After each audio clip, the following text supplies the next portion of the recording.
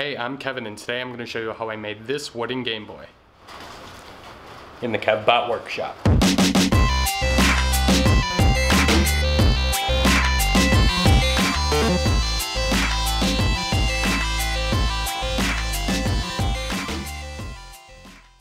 Welcome back to the KevBot workshop. Today I have something really exciting. I'm going to show you how I made this walnut wooden Game Boy.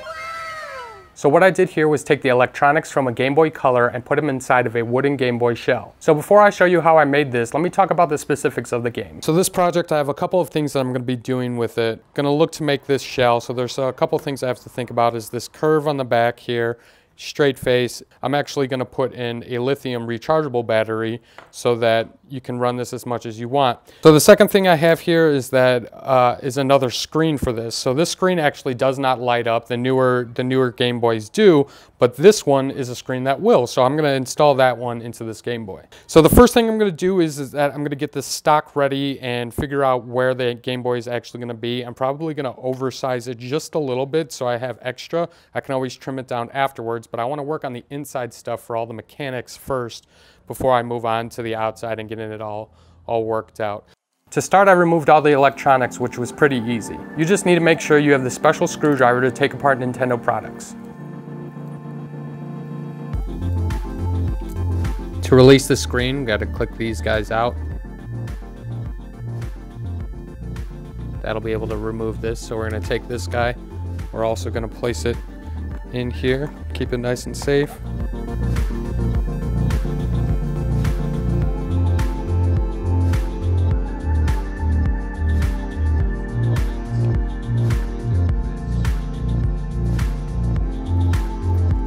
So now I'm going to take this over and I'm going to start cutting this apart so that I can get this ready. Uh, I'm going to leave a little bit extra because I'm going to joint and plane this wood so that it, I can get it more accurate.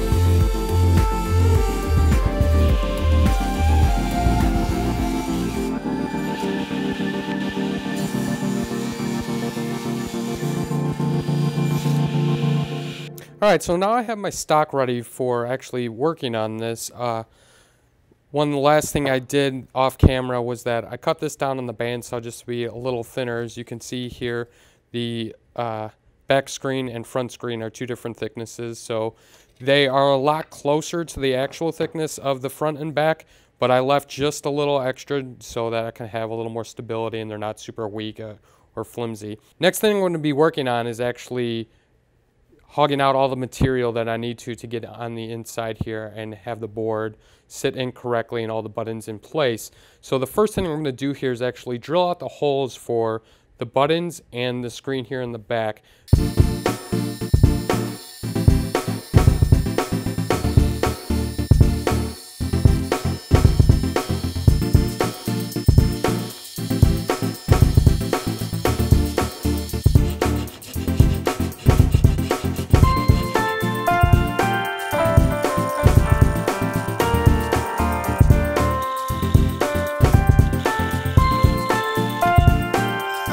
To remove the bulk of the material, I used a coping saw, but a file was really best to sneak up on the perfect fit.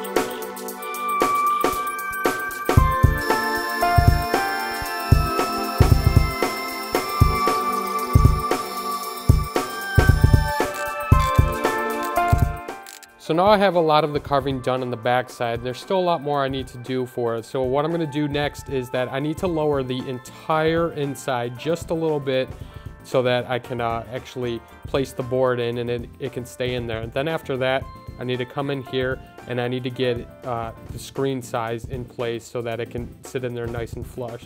So I'm gonna use a router to take away most of the material just at the beginning, and then I'm gonna use the router one more time and come back in here just for the screen.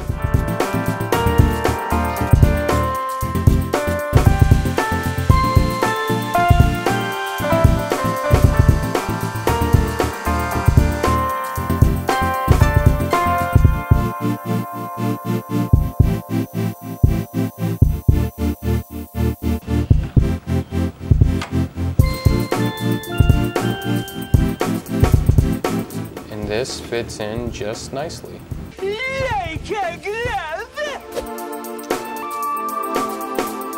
For the screen, it was simply an inlay job. I was able to use the glass and some painter's tape to set the depth on the router to cut out the material.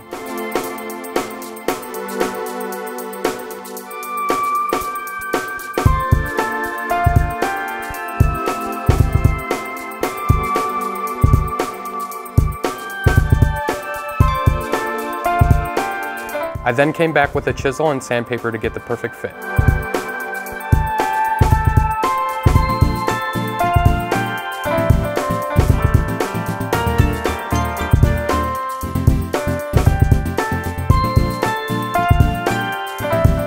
To mark for the holes for the audio, I used some spray adhesive and paper so I can see my pencil marks.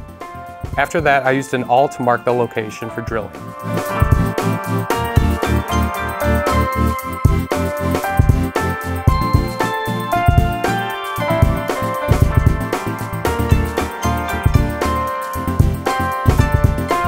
The back is a lot different from the front. The front had a lot more intricate things on the inside. The back, though, doesn't have much. I really have to remove the bulk, like all this will be taken out, all this, all this, and this cut through here. The thing I have to worry about here is this piece here and this piece here because they have to be a certain amount of thickness so when the game actually goes in that it lines up with the board on the back so that the game could actually go in and click into place. So I have to make th these two pieces the right amount of thickness so that it can fit in there, but I also don't want to make them so brittle that they break. So I'm going to hog out most of the material here, just make sure that I have uh, raised spots for my screws and that I can work on this area here. But then I'm going to have to come through with a Dremel and actually mold the, the pieces to curve it. And then we can curve the back and make it look all nice. I used a feeler gauge to set my plunge depth for the screw holes.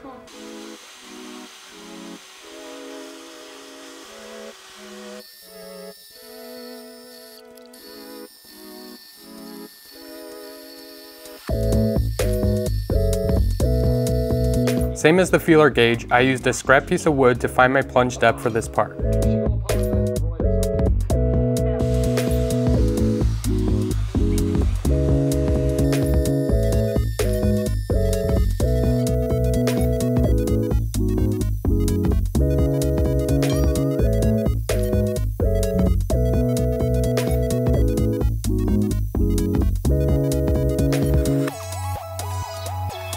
All right, so we're now a lot closer to where we actually have to be. I don't need this battery area here, so this area down here is actually gonna be scooped out. I'm gonna use a Dremel tool to get in there and actually round that out so that I can have like a rounded back like this over here.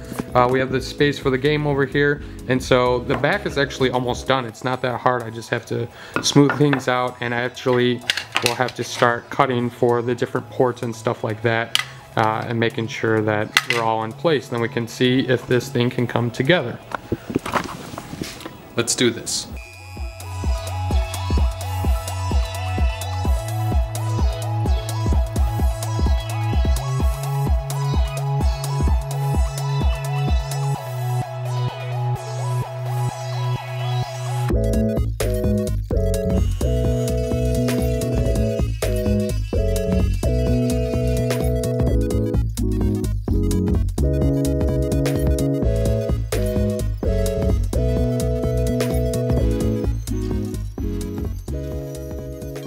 Now that I have the majority of the interior done, we're gonna switch over and work on the electronics. For this, I followed a tutorial, so I won't go super in depth on this, but I will leave a link in the description down below.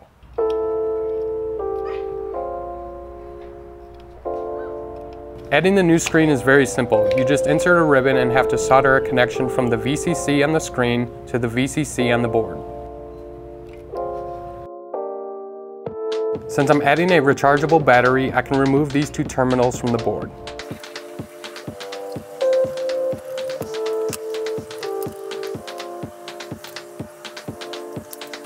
What I'm gonna work on right now is the actual battery and the charging unit for this. This is gonna be what's gonna be charging our battery. You can plug a USB right into this end here. So the other thing I have here is this charging piece so that I can actually cut this out in a piece of wood and I'll put it wherever I want. I can put it in the side here, I can put it in the bottom. I think I'm actually gonna do the side, but I'll see when I when I get there. Uh, and these actually come really cheap because I accidentally bought a whole bunch of them. So I got a bunch here, but I also had five of these packages, so just watch what you're buying.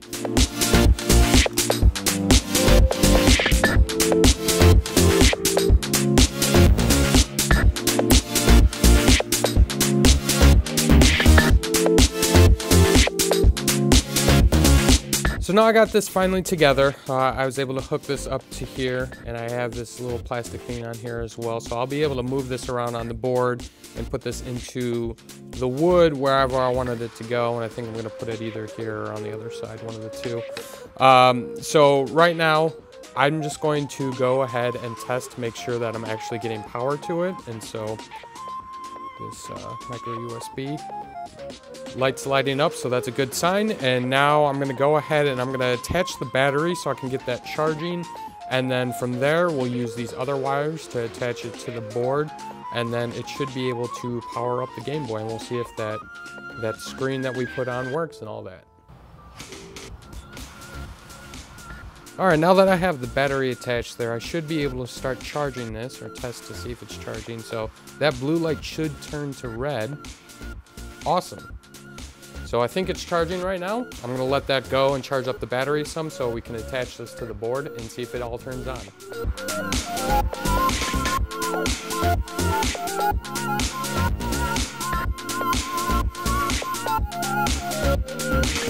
All right, after a few more minutes of messing with this thing, I think I got everything together. I had to take the screen off and put it back on just so I can move this thing around. I can glue things down. I just have to make sure this actually works now. So this is the moment of truth. Yes! Yes! Yes! Yes! Yes! Yes!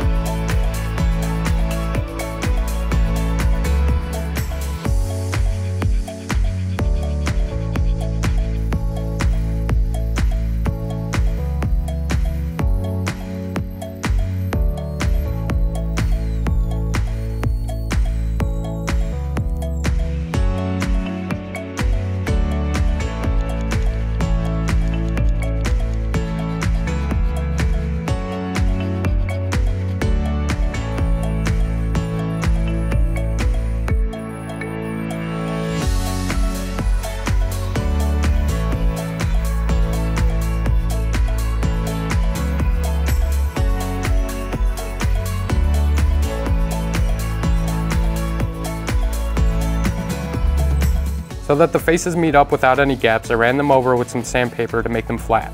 With that, I can cut close to the final size and sneak up to the line with a sander.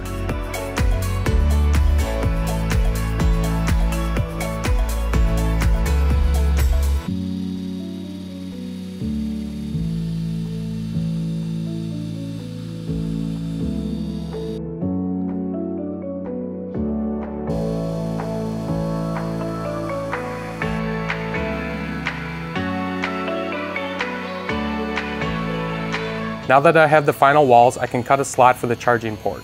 If you're wondering about volume control, I actually haven't figured that out yet. I need to figure out how I can turn the wheel and reach it from the outside. Plus I want to add a better speaker, so I'll do that with a second modification. For right now, I'll just keep the audio down and play with it that way.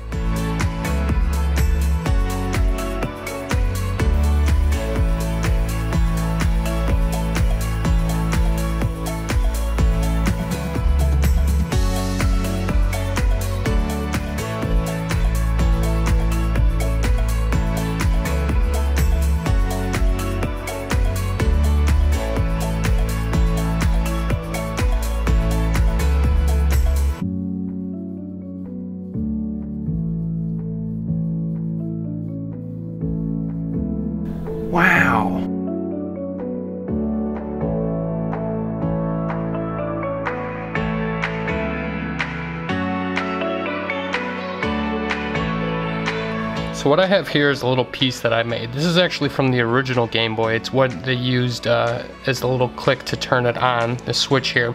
But I grinded it down so I can add this uh, piece of wood here because I needed to extend it a little bit more out. And here's the actual switch. So you can turn the game on and off this way.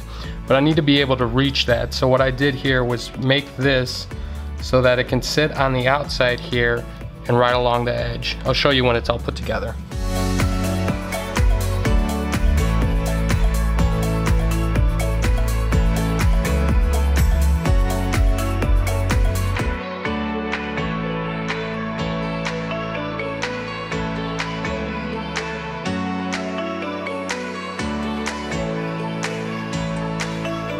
This was a challenging project to work on. There were many intricate details that took a lot of thought and care.